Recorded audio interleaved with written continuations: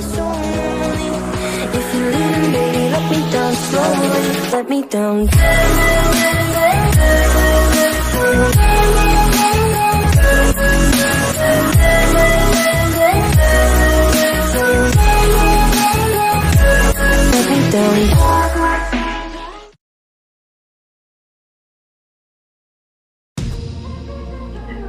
Hello guys, it's time for Once What Dominated. The reason why Yelling have two close siblings with Yushuan, it's turned out because that Yushuan really cared about Yelling when they were was a child.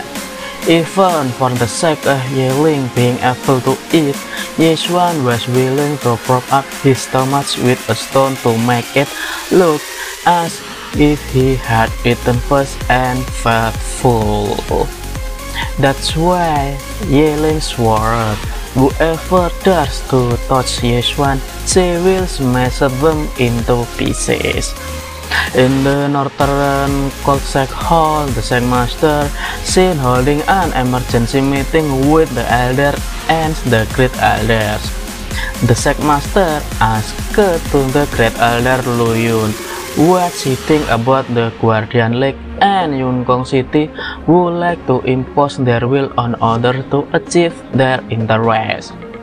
Since currently the aura in the Middle Kingdom is very thin and some parts of Northern Kolsek are melting, Great Elden Luyun think that if the fight with War Guardian Lake again, it is certain that the Northern Kolsek will be destroyed. Although not willing for their sect to be destroyed, some of the sects of the disciple also doubted whether it was necessary for the Northern sect to hand over the highly modern to a succumbs man. Since he is the holy maiden of the Northern cult sect, the Great Orden Elder Luyens think that the holy maiden should sacrifice from the sect. Not to mention that the holy maiden has consumed so many sect resources. Yiling didn't take kindly to the great elder's words and retaliated it. Yiling know that because of her arrival, great elder's grand doctor lost his position as a holy maiden candidate. So, Yeling suggested that Great Ardell should think about it wisely and put his personal emotion aside to face this problem together. Because if Northern Cold Sect disappear, Yeling is no longer a holy maiden. As for Lu Yun, she is no longer a great elder. Yelling's argument made the great elder Lu Yun upset and want to kill her on the spot. Because the Guardian Lake was targeting Yeshuan, Great Elder then suggested they should hand it over Yeshuan. This of course made Yelling angry because Great Elder was planning something to Yeshuan. Yelling didn't even hesitate to kill Great Elder if she dared to do something to Yeshuan.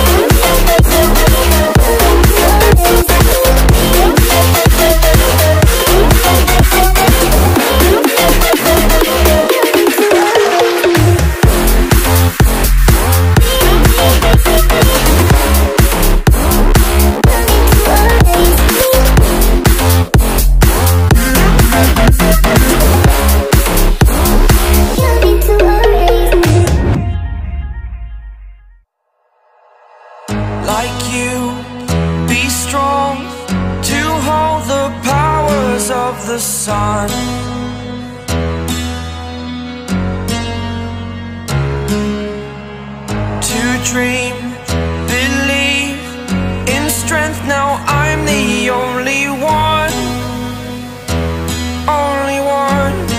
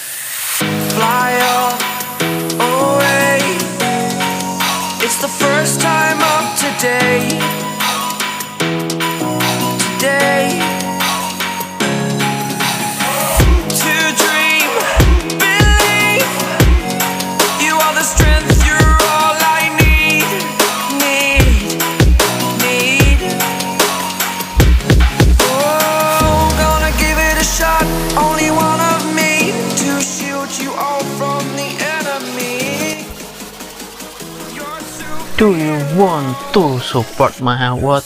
It's easy. You can do it with subscribe, like and share my video.